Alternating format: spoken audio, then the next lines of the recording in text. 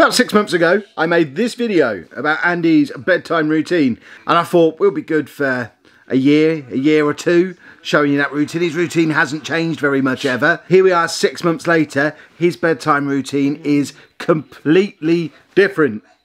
So it's time to show you a new one. It is currently 20 past seven. He has, he's already a good 45, 50 minutes into his bedtime routine because the start of it is the same as it's always been. About 6.30, whatever time it starts, is around 6.30. He'll watch In the Night Garden on CBeebies which gets him very, very excited. He then immediately switches over to QI on Challenge, um, which he then watches. Oh, sorry, it's on Dave, is it?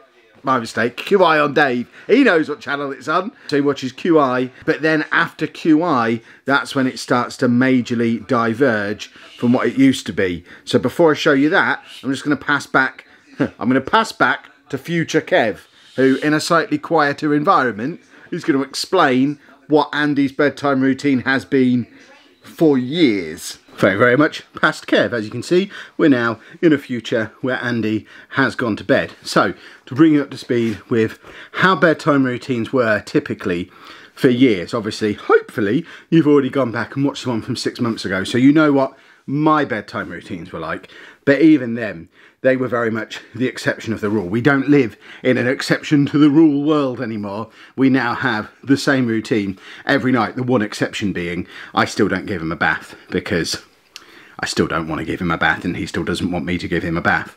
But the rest of this new routine is every night of the week. So the big change is that Anna no longer has to do her old routine anymore. So the routine that Anna used to have to do for years, in fact there's been a few over the years. When I first met Anna, so we're going back nearly eight years now, the routine was he would he would be awake until he got tired, whatever time that might be. So it could be 8 pm, it could be 2 am. He'd be awake until basically he passed out asleep on the sofa, and then she would pick him up and carry him to bed. And that was the only way to get him to sleep. It was completely impossible to get him to sleep in his own bed on his own. The two options were he slept in Anna's bed with her which once me and Anna started living together didn't really work, or that option where he would have to be carried to bed after passing out. When they first moved in here, I put my foot down and said, we ain't doing that. We're having we're having bedtimes. I'm not having him up until midnight, 1 a.m. That's that doesn't work for me. He's going to have a bedtime, and we'll just have to figure out a way to enforce it. And it took a long time. And to Anna's credit, she stuck to it for a long, long, long time to make it work. And we eventually got to the point where the routine was certain music played out originally from Anna's phone. We then got a Bluetooth speaker. We've now upgraded to a Google Home, which plays out Andy's playlist off of Spotify every night when he has his bath. So he still has the bath, which would normally be after QI. He'd watch QI, then go up for his bath. He would have his bath, and then Anna would take him into his room. She would have to read him a number of stories. They, it originally started with one story, big storybook, and then it built up and up and up. Uh, we're Going on a Bear Hunt would always be a part of it. We owned about five copies of that book because we left them at places. We left them at Respite. He wanted one to read along with while Anna had one. We've got so many copies of We're Going on a Bear Hunt. But the number of books increased, so she'd have to read through all the books with him. And then they'd do Mr. Hand, which is where Anna would have her hand like this and do a funny voice, which is something along the lines of, Hello, Andy, or something like that. And that's where she would have the conversation with him about what he's been doing today. So it'd be like, hello, Andy, what have you been doing today? And he wouldn't really say anything, but then she'd integrate into that the stuff that either we knew he'd done or the stuff that the school had sent in the email. And that was really the only time we would be able to have a conversation with Andy about what he'd done. So Anna would ask him questions that she knew he'd done at school, via Mr. Hand and he would talk to Mr. Hand about it. So that was always part of the nighttime routine. And then eventually after that was done, and this, this whole process of bath, then stories, then Mr. Hand would take them through from quarter to eight through till about 8.30. So we're already about 45 minutes deep into this. And then for, for years, Anna would then have to lie down on Andy's bedroom floor until he went to sleep. And it was probably about a year ago now, maybe a little bit longer ago, that she managed to graduate from laying on his bedroom floor to laying on our bed in the room next to his. But it was still the case that And if you saw that video from six months ago, um, even in that video, I had to lie in our bed and wait for him to go to sleep because if I'd have come downstairs, he'd have just followed. He wouldn't have settled. Um, so she would have to lie on his bedroom floor or lie on our bed until he went to sleep. And that could take anywhere from half an hour. Half an hour would be absolute minimum. That would be the shortest time it would ever take. So we're looking from half an hour all the way up to sometimes two or three hours. If he just didn't, if he just wouldn't settle, he would be awake for hours. And that was the routine every single night for, like I say, six, seven, eight years from when Anna moved in up until probably the last month or so, particularly over the Christmas holidays, but last month or so, it's turned into the one that you're about to see. So 7.45, QI is finished, TV goes off. Bed in 15 minutes, Andy. Now go back to bed. You want to go to bed now, do you? Yeah. Well, we've got to clean your teeth first then. That told me. Teeth now. Well, I'm going to do teeth Weak, weak. Oh, Do, do, do, Right. It's toothbrush. Need your water. As you can see, this doesn't change much. He still has his same glass that he drinks out of. Obviously, drinks water all the time now, but teeth time. Oh, come on, no, you need to do more than that. Let's get me in there. They need to get nice and clean. Yeah. There, you need to give them a good brush. Open. Need to do open. Need to do those bits as well. There you go. And yes, he still swallows the toothpaste water. And that's it. That is it. Are you saying goodbye to me? He still has the little tent on his bed, as you can see. Did you like not working? No. Oh, that's no good. Well, that was working this morning.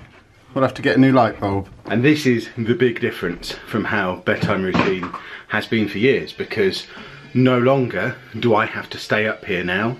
No longer does Anna have to stay up here now when she's here in the evenings.